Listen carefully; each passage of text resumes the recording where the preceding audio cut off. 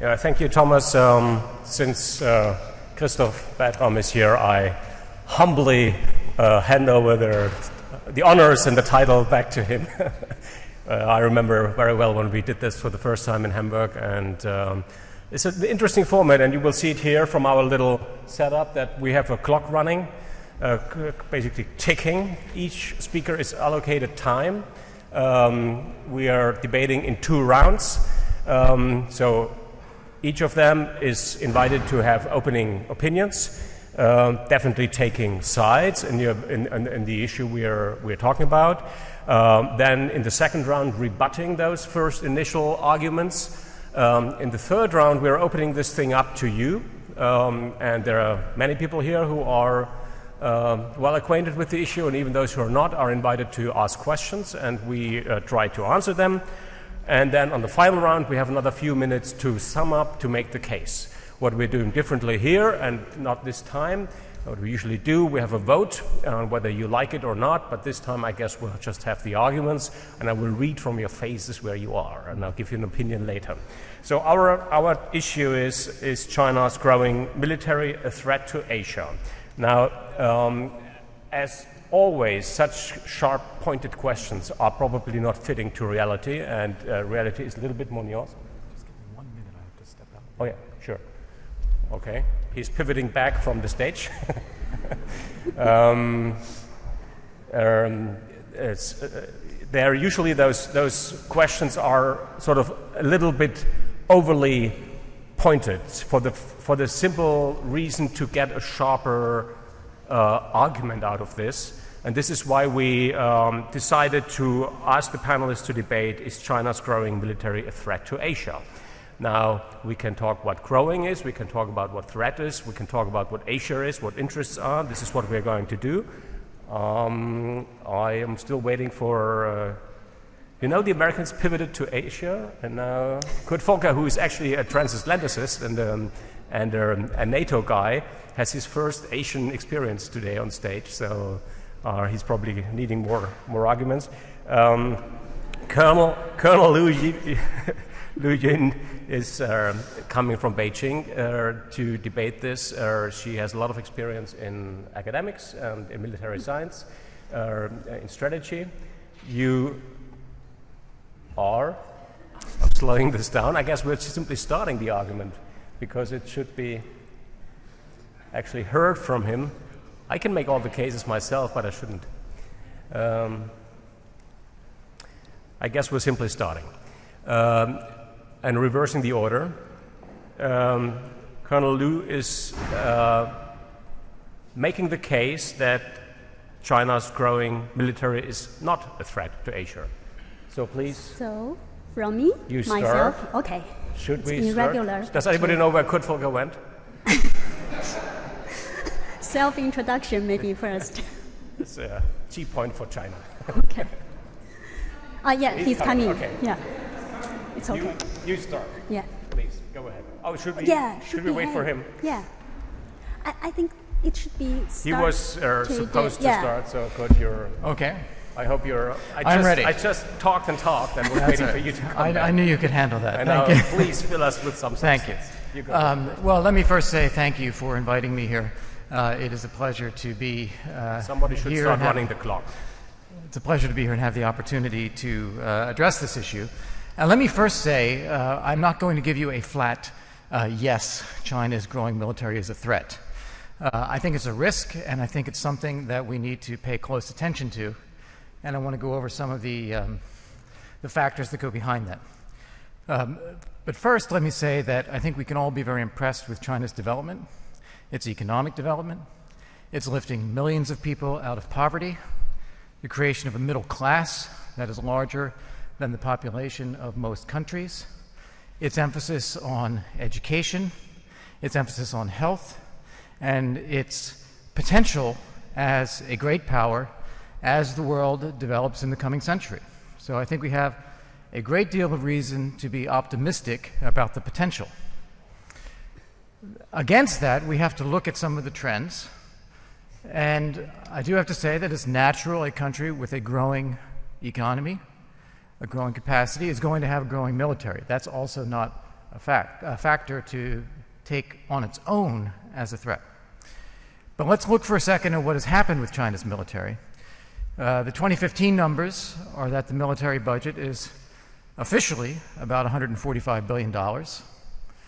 Uh, unofficial estimates, that is Jane's or SIPRI, that take into account other research and development, probably put it 35 to 50 percent higher than that, so maybe the 200 million range. So, just to give a sense of comparison, we're looking at about three times the size of France or the UK, so fairly large, second largest military in the world after the United States.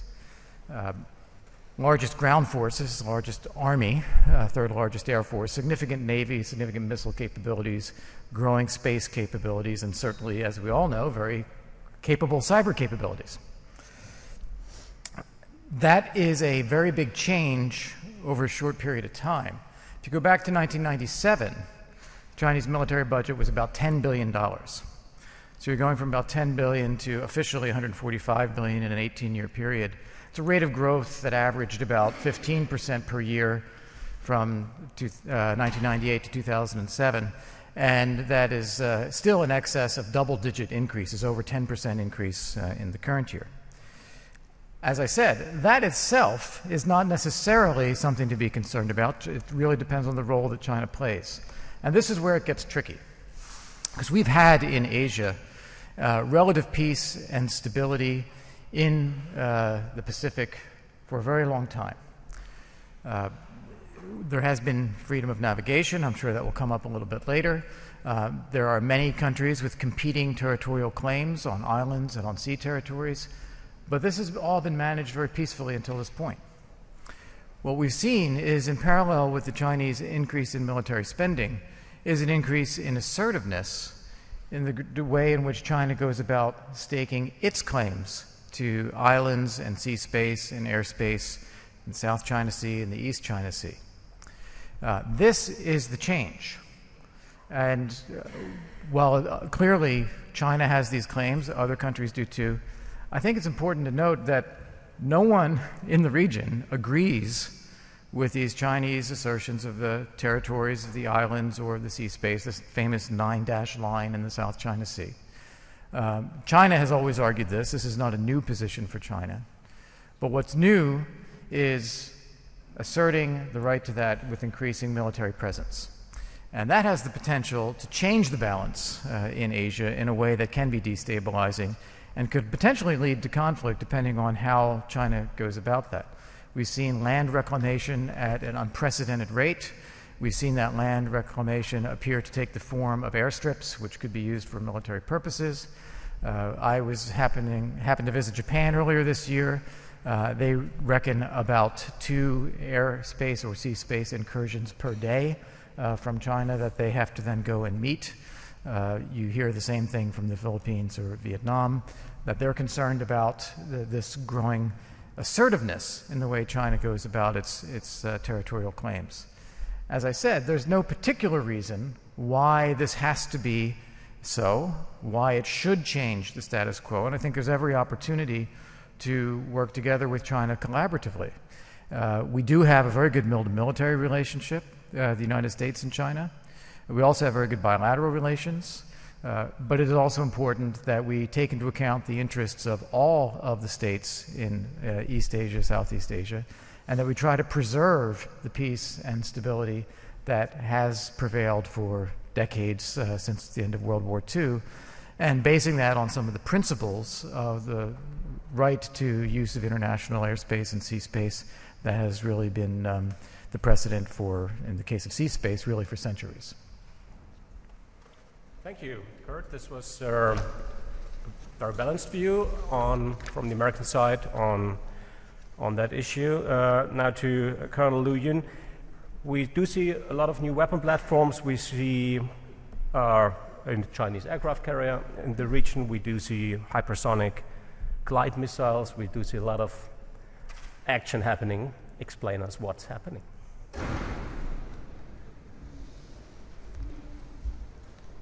Thank you, Dr. Uh. Thank you, Mr. Kornelius, and thank you, Ambassador uh, Volker. Ladies and gentlemen, good afternoon.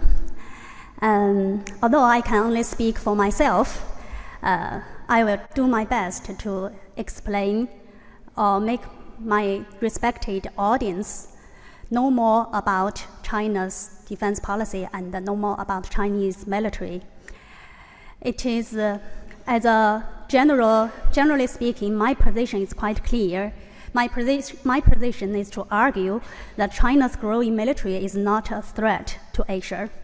My general argument is that a peaceful developing China has varieties of reasons to build a strong military, but it will not pose any threat to any other countries, especially Asian countries. Firstly, the Chinese military needs to develop to deal with its varieties uh, involving security challenges as well as to get along with the trend of world uh, revolution on military affairs, RMA. China's peaceful development needs the protection from its armed forces. It is an important guarantee um, for maintaining peace and maintaining, uh, managing crisis. Since we are still living in an unsafe world with uh, the presence of unjust, unequal, and unreasonable elements in international relations, to safeguard the interests of China's sovereignty, security, and development, um, and to deal with both traditional and non traditional threats, China has every reason to develop its military capabilities. On the other hand, all military forces need to develop so as to get along with the trend of world RMA, with China no exception. The Chinese military is at uh, its semi um, mechanized or mechanized stage of development and is still backward in many aspects. There is still a long way to go for Chinese military to become a modernized force, and it needs to develop so as not lag behind in the course of global RMA. However, China has maintained the coordinated developing uh, pace of its military as against the economic development, with the economy is also the priority. Our defense budget accounts less than 1.5% of total GDP, while the NATO standard is 2%, and the United States exceed 4%. Secondly, the fundamental task of all armed forces is to contain or stop a war the best way to fulfill this task is to possess military capability. However, to judge whether a military force poses threat to other countries, the key factor is not the size and the capability of the military force, but the nature of its defense policy and the military strategy that the country adopts. China's modern history was full of traumas and sufferings for more than a century since 1840. China was the victim of colonialism, hegemony, and aggression, with the whole country being invaded and bullied, sovereignty being encroached and violated, and the people being enslaved and slaughtered. What China learns from its own history is the fact that being backward means being vulnerable to attacks. China has a land border of 22,000 kilometers and a coastline of uh, 18,000 kilometers. China is the only big country that still has not achieved national unification. Although we are very happy to see recent historic meeting between Chinese President Xi Jinping and the leader of Taiwan region Ma Ying-jeou, which is very positive improvement uh, of the cross-strait relationship. Uh, there still exist Taiwan separatist forces which remain as the biggest threat to the peaceful development of China. For all those reasons, China needs to enhance its overall military capability. However, to judge whether a military force poses threat to other countries, the key factor is not the size and the capability of the military force, but the nature of its defense policy and the military strategy that the country adopts. A strong military force guided by a non-aggressive policy will not pose any threat, while a small force guided by an aggressive government and defense policy will definitely pose a threat. A case in point is Iraq in 1990s when it invaded Kuwait. Although the Chinese military should always be prepared for the worst scenarios like, like all militaries do. Our military strategy is such that Chinese military will not strike, only it is struck. All in all, in Chinese military will always be a responsible contributor to world peace and will remain so by developing itself.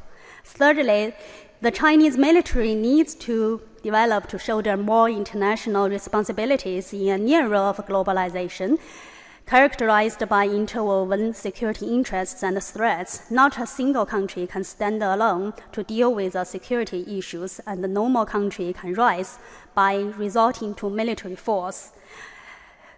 So the mission of the Chinese military is to engage in cooperation with all countries so as to take more international responsibilities. Just to name a few, China is the largest contributor to the UN peacekeeping missions among the P5. Since 1990, PLA has dispatched 30,000 soldiers and officers to take part in 24 peacekeeping operations under the framework of UN. Since 2008, Chinese Navy has dispatched 21 task groups for escort and anti-piracy missions, providing escort to over 6,000 ships, with half of which being foreign ships. Therefore, the Chinese military needs to further, develop to make even more contributions to maintaining the peace, stability, and the prosperity of the Asia Pacific region and even that of the whole world. I'll stop here. Thank you. Thank you very much. Both uh, discussants are, um, are even trying to balance their positive time account, so I see some, some equality here. Kurt, you got the opportunity to rebuttal and to uh, take some of, some of these arguments. Striking for me was sort of the, the nature of defense policy, historical. Right. Please. Well, I uh, let me uh, pick that up and I'll, I'll address four uh, points. One of them is uh, I think, um, while it may be true that there is more modernization and development that China would like to do with its military, it has already made extraordinary progress technologically and organizationally and in terms of raw capability. It is a serious military capability today. It's not something out into the future. And the amount of spending on equipment and on personnel reflects that, and it has produced. So I think China can feel good about that. I don't think it, it needs to think it's still got this weak second rate military. It's actually pretty good.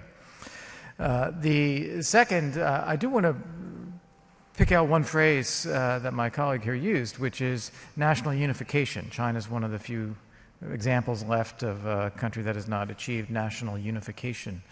Um, that's a very interesting point to bring up because there are essentially two scenarios where one can imagine China being in a conflict in Asia.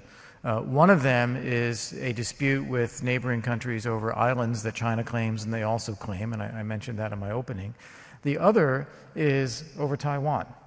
And while we recognize a single China and a one China policy, as does, uh, I'm sure, everybody in this room, at the same time, uh, we live with a, a, de facto separation and a de facto peace that has been established over a very long period of time. Were that to be challenged uh, by China directly, uh, I think that could lead to a very serious conflict in Asia. And uh, I think we would all hope that that would be avoided. And we hope that the dialogue with the uh, Taiwanese government continues uh, rather than seeing that through any kind of military lens. Thirdly, uh, I very much appreciate what uh, my colleague here said about self defense. This gets to your question, Stefan, about uh, military doctrine. The issue with self defense arises, however, when there are disputes over what constitutes national territory, what constitutes national airspace, what constitutes national sea space. Only China asserts that all of the South China Sea and these islands are Chinese, and would therefore assert that other countries taking advantage of what they see as international space, or in some cases, even their own territory, China could potentially perceive as a threat. And if China were to respond to that militarily, that would also be a source of conflict. Uh, that is something that I think we should be very concerned about as well. And then the final point is to reiterate something I said in my opening, which is that um, most of this is not new. Uh, the competing territorial claims, the competing sea space claims, the uh, the uh, presence of the US military, the presence of a Chinese military, the presence of other countries' militaries in the region. None of this is actually new. The one thing that's new, and it's really over the last 20 years, has been the size of China's military and the assertiveness which with, which with it links its military activities to its territorial claims. And uh, just for example, uh, we did have a, a military maritime maneuver where we passed through some of these waters uh, just a few weeks ago. It's uh, something that the United States has done and other nations have done over years and years and years. But now it elicited a much stronger response from China uh, because of this uh, growing assertiveness about these territorial claims. That's where the risk comes from in the future, I think. Thank you. Yin. Okay, thank you, uh, Mr. Volker. Um, actually, I, it's frequently raised the questions like the Chinese threat to change the status quo. And uh, I give you some example. Uh, I do not want to argue that China is not the one who changed the status quo, but it's really some proper reaction to the country who changed the status quo first. We have to react on our own territory. Um, such like uh, I can give you examples. Some countries in the South China Sea have been conducting construction on islands and reefs. Uh, maybe for these things, there, are, there have exist such, such kind of things for more than 20 years. For example, Vietnam has expanded the area of those islands and reefs, uh, each occupied by over 20,000 square meters. And some of them are already equipped with guns and missiles. So this is a fact, but the whole international society is uh, maybe it's not uh, worth of an emphasis when the, some country argues that China's island and reefs reclamation is a threat. And uh, the speed issue, I think, for the uh, construction of the islands is also another question uh, to, to be raised as an uh, issue of changing status quo. But I think the speed issue is a matter of uh, quantity rather a quality. Some people accuse China's fast speed of construction, uh, but from a logical or legal perspective, the speed does not change the nature of things. Moreover, China should not be over surprised or people from outside should not be over surprised by the faster speed of Chinese speed. Since the opening up, uh, China has uh, developed from a, a, very underdeveloped country to a second uh, world economy. So it uh, only takes 30 years. So I think you are not surprised at Chinese speed. So that's it. Thank you very much um, for those introductory uh, remarks. We are now um, opening this up to you or to me, if none of you wants to ask questions, but I am happy to take in the first ones. I guess we should have microphones going around. Let's start here in the front and then work our way over. We probably collect two or three at a time and then go back and forth. To both, but first of all to China representative. Is China ready to address the International Court of Justice to decide through ruling of this court your some questionable que- uh, relationship on territorial delimitation in seas and what position of United States on this topic Thank you very much. This was the question about uh, the international legal framework, which is hotly impo- highly important. Right in the back here, second question, please.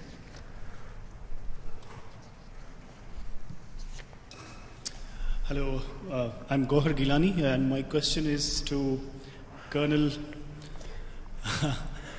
um, uh, does China see a role for itself uh, in resolving disputes like Kashmir in the region and pressurize India for the growing climate of intolerance uh, in case of recent incidents of mob lynching people who eat beef or there's a suspicion that they have eaten beef, if China sees a larger role for itself in the Asian region? Uh, I, beg, I beg your pardon, what's your question? My question is Does China see a role for itself in resolving disputes like Kashmir between India and Pakistan? Okay, thank you. Okay, see about the influence in on the wider uh, Southeast Asian continent. And one more question, Stefan. Stefan Bierling, University of Regensburg. Uh, John Boehner, the last speaker of the House of Representatives, once said, A leader without followers is just a man taking a walk. Is China just taking a walk? Who are your best friends? Who are you supported by in international relations besides North Korea? Thank you very much. I guess we could have got it. We first, uh, I'll come back to you later. We uh, answer the first round now, please. You want to take the first questions? Uh, I just uh, take uh, the three questions, or, or one by one, or I just read. Those who were addressed to you, if you want Okay. to answer them. Uh, it's uh, all of the questions are good questions, and uh, the first one is about uh, why China do not accept the uh, International Court of Justice. I think the yes, you're right. The international judicial institutions such as the International Court of Justice and the International Tribunal for the Law of the Sea can also serve as a third party arbitrator. But only after no settlement has been reached through peaceful means and the parties concerned agree to accept the arbitration.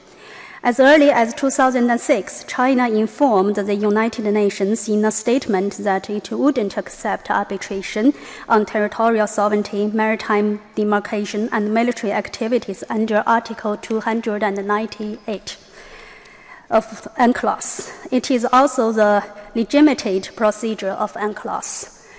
And uh, even for the Philippines, I don't think that the Philippines has exhausted all the possibilities to consult with China on the territorial issues.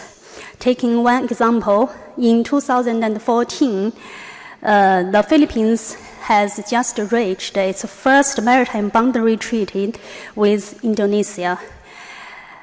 It takes 20 years of negotiations between these two countries. So it's a firm evidence that the Philippines has not exhausted all the diplomat- diplomatic venues. And at least, as far as I know, in 2010, uh, China made the proposal to the Philippines government on establish, uh, establishing a bilateral mechanism, uh, mechanisms of regular consultations on the maritime issues. And in 2011 and 2012, China proposed to restart the uh, mechanism of confidence building measures between our two countries. So, without consulting with ASEAN countries in which the Philippines is a member, the Philippines government took China to arbitration. This is a really a unilateral proceeding, also caught ASEAN countries by surprise. So, I think it's not a very wise way for the Philippines government to uh, resolve the problem in this way. And uh, uh, for the Chinese government's reaction, I think it's legal, reasonable, and rational. And for other things, uh, it's uh, Sphere of influence in Southeast Asia and those the question about followers and, and, al- and natural it's, uh, allies. It's a South, uh, the, the resolution of South China Sea should be an example of the Yeah. uh, territorial disputes between India and Pakistan. I think, uh, yes, the situation is quite different, but uh, for the policy choice, I think it's a very important way to keep the negotiation channel open, to try your best to find a way to talk uh, it's not a European way to talk to death, but uh, it's really a good way we can follow to talk, to consult, to get a negotiation. Even it's very, it's a very hard way. Uh, th- this is the only uh, example. I, I think it should be a example, and that is uh, two channel uh, approaches or dual track approaches for the South China Sea resolution, which has been raised by Chinese government to keep the uh, freedom of navigation and the uh, the whole peaceful environment of the South China Sea by ASEAN countries and to resolve the disputes bilaterally. So that's a dual track approach. Uh, for the third one, it looks like you are right, but uh, I don't think so.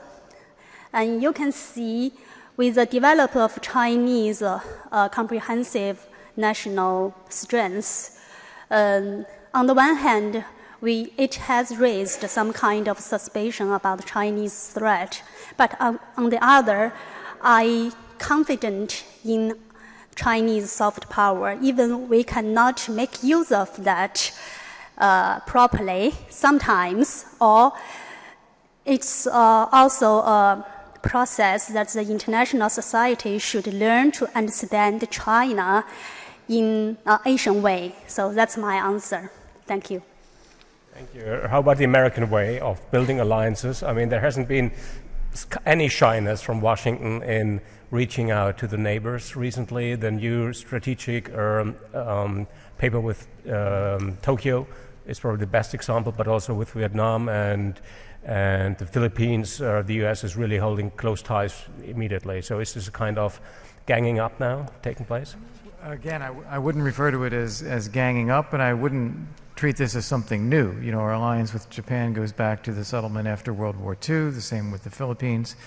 And what's happened here, and, and I think the exchange that we've just seen illustrates this, where you have China increasingly pushing its own view, which is understandable that that's China's view, but when it is backed up with a stronger military and stronger assertiveness, it gives rise to greater concern on the part of our allies in Asia that have relied on the U.S. to play a role in balancing this and in keeping uh, an open East Asia, an open East South China Sea, East China Sea.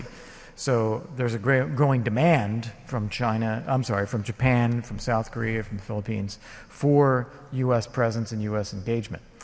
Uh, I want to add, come back to the question that was asked about the ICJ or about territorial disputes.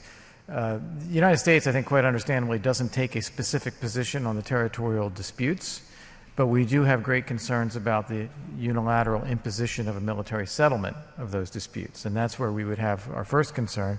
And the second, if that were to take the form of denying access, free, open access to air and sea space for every other country in the world, including the United States, to exercise navigation rights, that would be of direct concern to the United States as well. And that's where we've, we've placed our position. But anything that would be directly agreed mutually by parties in Asia, I'm sure that we, we, would, um, we would accept or that we would view as a reasonable settlement. But our understanding is that, uh, as the last question indicated, China is not benefiting from the understanding and support of a lot of its neighbors. And following China, in fact, there's a growing concern about uh, where things may be headed. Thank you. Let's take the next round. There was Volker Stanzel first, and then, uh, yeah, Herr Stanzel. Uh, thank you. For a change, I have a question to uh, Mr. Volker. Um, that China needs an army uh, maybe Ms. Uh, Lu Yin may reason that there are unreasonable elements in, national, in international society. I think that is not really enough. I don't see any country really wanting to attack China. So why is uh, why do we see the military buildup? Maybe it's just that uh, a world power needs a world-class army or something of the sort. Uh, secondly, what China is doing in terms of land reclamation, fishermen combating fishermen, is something that the other actors in the South China Sea also do. Uh, I don't see any risk there. I see the risk that you've referred to only in three areas. The first is that China claims the total, almost the totality of the South China Sea. So here, indeed, the freedom of navigation may, may be endangered. Secondly, there's Taiwan. There's still more than 1,000 missiles directed at Taiwan, and uh, China has not renounced its will to, if need be, reunify with Taiwan by the use of force. The third is the air defense identification, identification zone that China has directed over uh, territory that is also claimed by Japan and partly by South Korea. So, if you look at these three risks, where for you is the threshold that the risk can turn into true combat, into an armed dispute? Where's the moment that maybe the United States Navy would be forced to intervene? Only then, I think, would we really see the threat of the use of uh, armed force. My second question to you is Oh, this is running out of time, but really fast, please. We have so many more questions. if, in the case of any armed conflict, what do you expect uh, your European allies to do? Okay, Short enough? very well, thank you.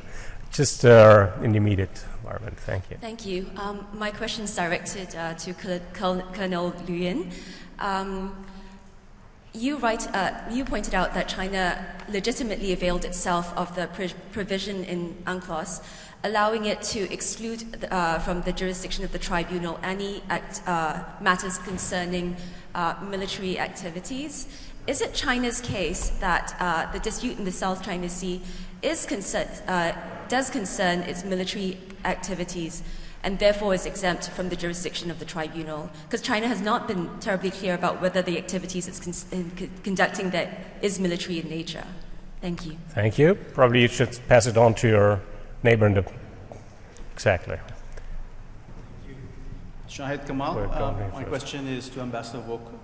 Uh, you have expressed um, um, admiration for the economic transformation that has taken place in China, and China is now increasingly engaged in promoting economic stability globally.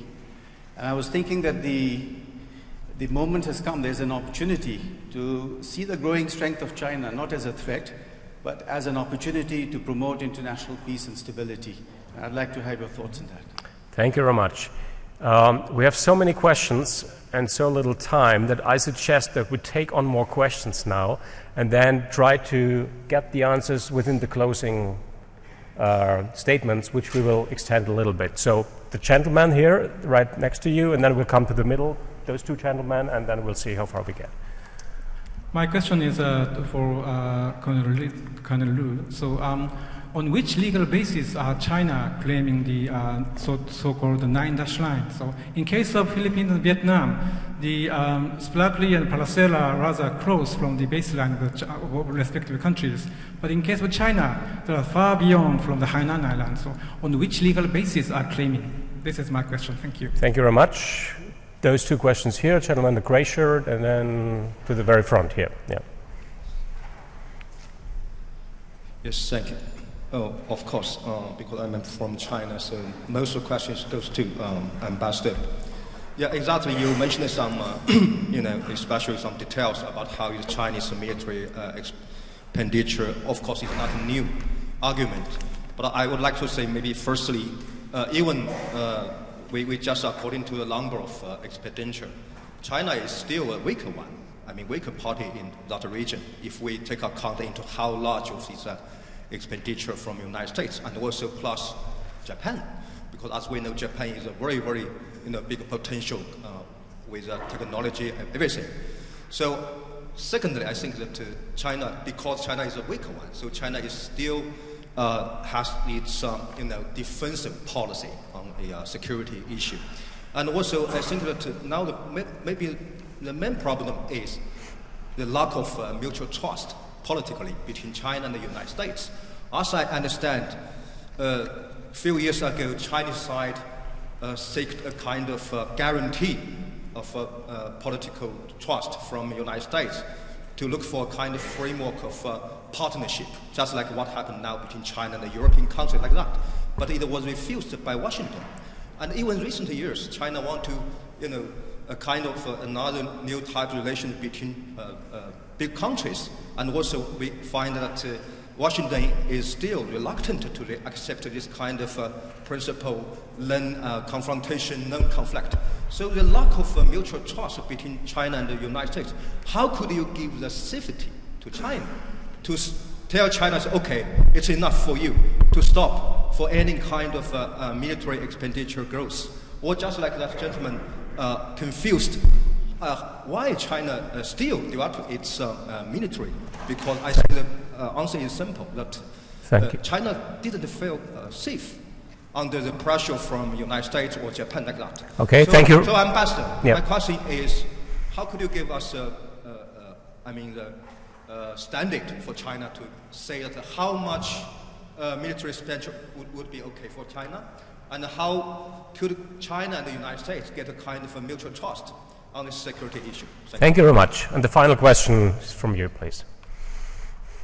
Fraser Cameron from Brussels. Firstly, um, Colonel, let me assure you that talking things to death is very much the European way of doing things. Uh, I learned it from Can you give us a flavour, though, of the debates within the PLO and between the PLO, PLO, uh, PLA and the party on strategic debates?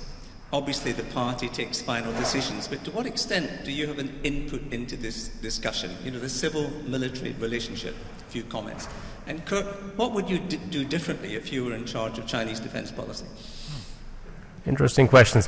We really have to cut it short now. I think we uh, got a lot of questions in. We ran out of over time, and I would ask both panelists to try to answer questions while making the final argument, if this is possible.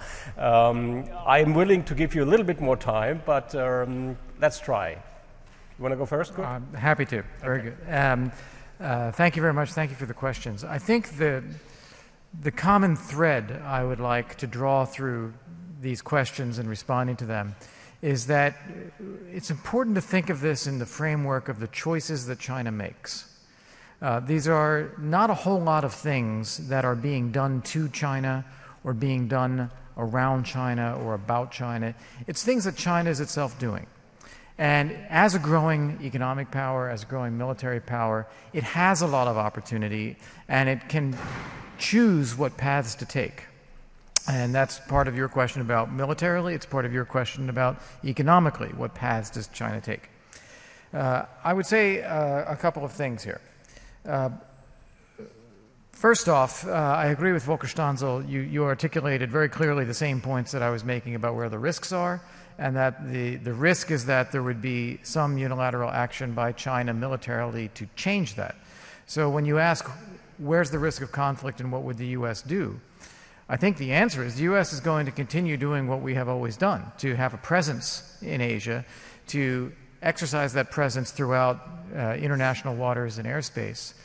Uh, I don't see any risk of conflict from that unless China decides to create a conflict from that by some kind of military strike on a U.S. ship or U.S. aircraft or against Japanese or Vietnamese or others. So it's again a choice that China uh, could make or hopefully does not make and that we find other ways of managing a growing China and peace and stability in East Asia over a long period of time without conflict. Uh, secondly, when we talk about the economy, absolutely, it should be a source of uh, growing convergence and cooperation globally. Thus far, that has not been the, uh, uniformly the way China's economic rise has played out. There have been, it has been a mixture um, there have been issues of the currency and the valuation of the currency. There have been issues of uh, competition for resources and state to state contracts to address resources. Uh, there have been issues of um, trade competition, and certainly we felt, and I know Europe has felt, that we've lost a lot of jobs to China because of China's competitive advantage in manufacturing. So there's a lot of friction in the system here. There is potential if we can continue to work together to support a global, liberal, fair trading order that benefits all countries, uh, then we're very much in favor of that. And, and, as you say, it is an opportunity to build uh, growing cooperation stability. It's one that, again, depends on the choices that China makes. As for um, China being uh, the weaker power in Asia and feeling uh, that it needs to feel safe, I'm not aware, uh, maybe I'm wrong, of threats to China from the United States or from any of the other countries in Asia. No, no one is threatening China. I think it is natural, as was indicated in a question, for a growing power, a, a growing country with growing economic potential to have a growing military and to feel that it is able to protect its territory from whatever may arise. That's natural. But I don't believe there's any particular threat there, so there's no reason for China not to feel safe. Uh, and when you compare China and Japan, the, the, the, scale of China's military spending now is about three times the size of that of Japan. And it is increasingly high tech and very capable. Uh, so I think this image of China being a weak power may be something that Chinese feel, given the history, but I don't know that it reflects the, re- the military reality today. And that is why Japan or South Korea or the Philippines or others uh, rely upon a U.S. presence in Asia to maintain a balance. And finally, if I were in charge of China's defense policy, what would I do differently? I would do two things, and of course, these are never going to happen. Uh, I would de-link China's military growth from its uh, contested territorial claims.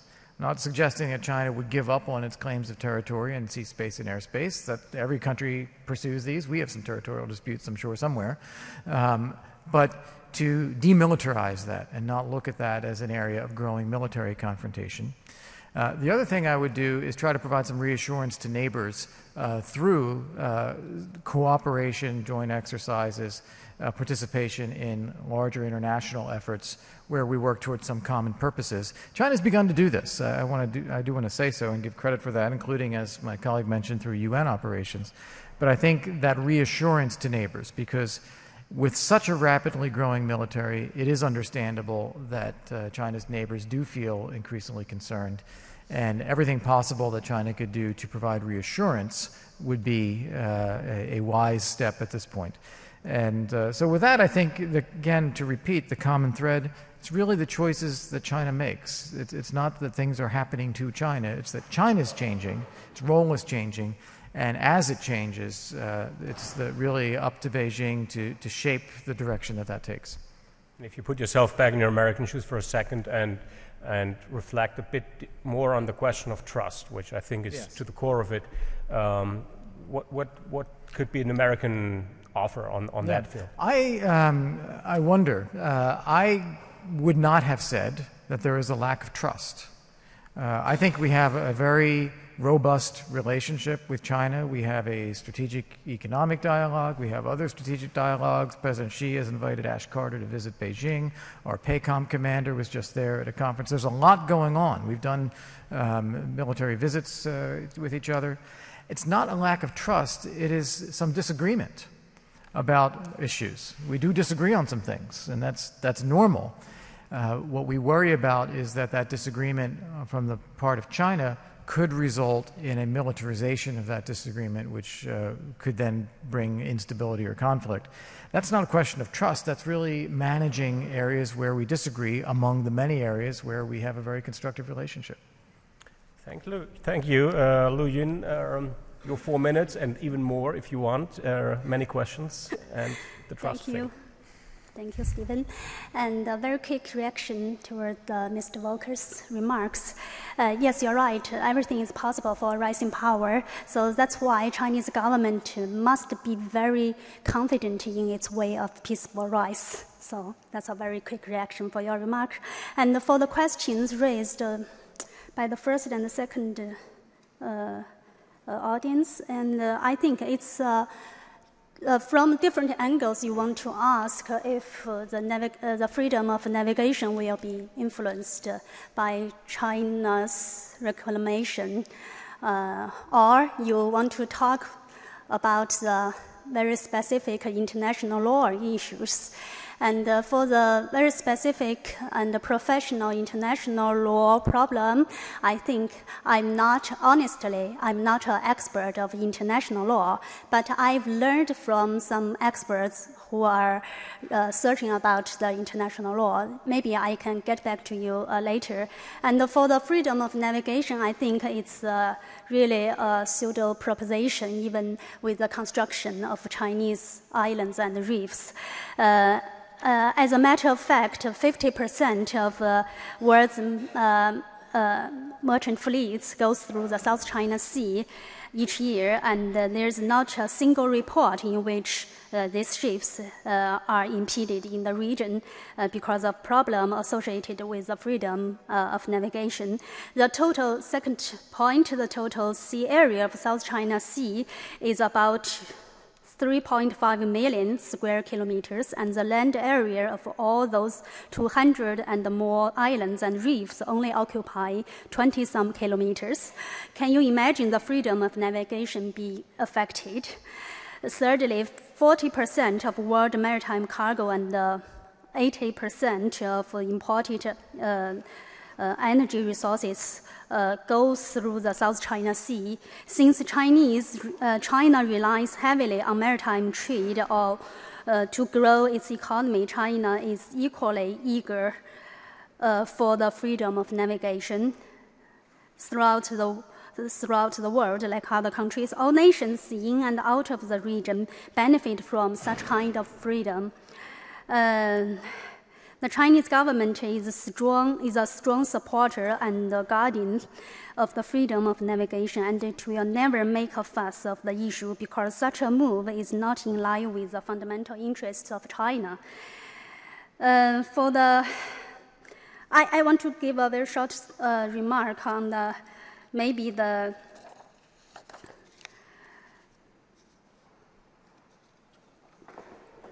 the recent case of Lassen uh, warship. Uh, I have to mention that because um, one of the uh, purpose of the construction of the Chinese uh, islands and reefs uh, of the Nansha Islands is to provide navigation assistance, such as light towers, something else, which is conducive to the freedom of navigation in the South China Sea.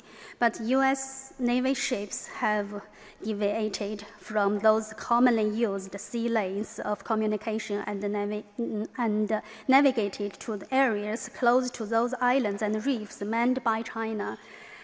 Uh, this can only be interpreted as a military provocation to China. So, uh, from my perspective, I think the U.S. government should emphasize the smart, smart power very much. I think it's not a smart approach. So for the nine dash line, uh, I will uh, recommend a very professional article to you after this speech uh, on the uh, explanation of the nine dash line. And basically, I can give an explanation. At least the nine dash line have uh, exist for more than 60 years. So I don't think historic right and historical uh, title are not a part of international law. And for the mil-to-mil relationship or cooperation, that's a very good and positive question. Uh, I think it also uh, uh, it's also relating to the mutual trust or confidence building measures, although uh, from the Asian perspective, confidence buildings is uh, some kind of experience from European countries. In Asian countries, we have not such kind of mechanized institution. We need to build mutual trust and, and uh, at the initial uh, step. But uh, what, what's, the, what's the way to realize the mutual trust building? I think the mil-to-mil relationship uh, under uh, bilaterally or multilaterally uh, are the very good way to realize it. Under the taking the bilateral one as an example, Chinese military has more than 20 consultation channels with uh, different countries and um, with more than uh, with more than 20 different countries. Sorry, we have the uh, defense consultation uh, channels, and we also have bilateral and multilateral military exercises in a very practical sense. And uh, under the ARF framework, uh, we call it ADMM plus. Uh, 10 ASEAN countries plus uh, the other eight countries, we have very uh, practical uh, cooperation uh, among different countries. So I think uh, it's the specific way to build trust between or among militaries, and it's also the way to get understanding between and among different countries from the security and the military level. So that's something I myself uh, try to do uh, my best to promote. Thank you. Thank you very much. Uh, you indeed did. Um, I want to uh, probably um, refer you to the gentleman about the question of internal dealings within the uh, PLA and uh, within their uh, party committees. Uh, so you, you solve that on their, in the hallways. Um, I'd love to hear it from here, but I appreciate because this is one of the rare occasions where we have a Chinese-American debate on a Berlin public stage, and this is quite a first, uh, to be honest, for me. And uh, so thank you for both of you to do this. Um, I think we're going to have a break. We should do this in the spirit of Helmut Schmidt, who with Deng Xiaoping went for a smoke.